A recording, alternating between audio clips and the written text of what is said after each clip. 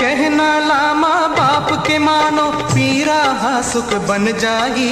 मान जी हाँ हो थे सियान के, वो घर हा जस बगराही। ब्रह्मा घलो समझ नहीं पाई ई कर क्रिया।